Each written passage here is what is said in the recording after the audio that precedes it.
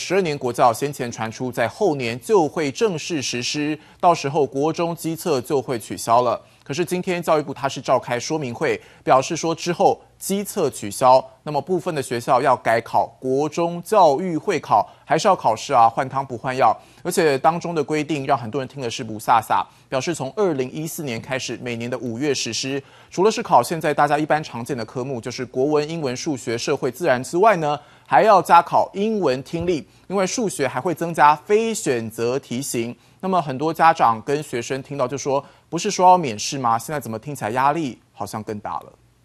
二零一四年十年国教上路，没了基测，国中会考成了重要指标。教育部公布重大考试变革，会考难度从基测的中间偏易变成难易适中。会考增加了英文的这个听力测验，然后。数学增加了这个非选择题，数学科会加考两到三题非选择题，英文科则首次加考英听二十到三十题，考试时间二十分钟，每题都会念两次，就考看图辨识句意，基本问答和对话理解。二零一四年试办，二零一五年采集成绩。有人选择题比较强，然后他可能听力比较弱，那他这样就可能没有办法占那么多的优势。因为讲太快我听不懂，然后有我只听得懂台湾人的声音啊。如果数学都只考选择题的话，那有些人就。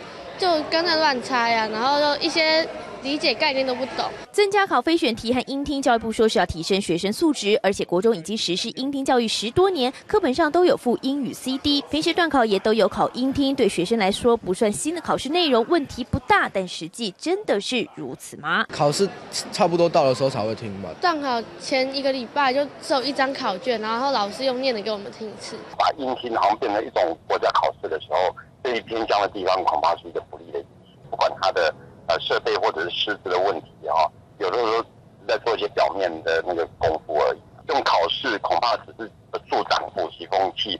二零一四年，二十六万多的学生就要考国中会考。教育部目前规划五月的周末两天考试，但会避开母亲节。确定成绩分为精熟、基础、待加强三等级，而且应届毕业生不需要缴报名费，只是考试时间和题型都和基测大同小异，还增加了数学非选和英文听力。对学生来说，十二年国教免试入学，并没有免去学生的考试压力。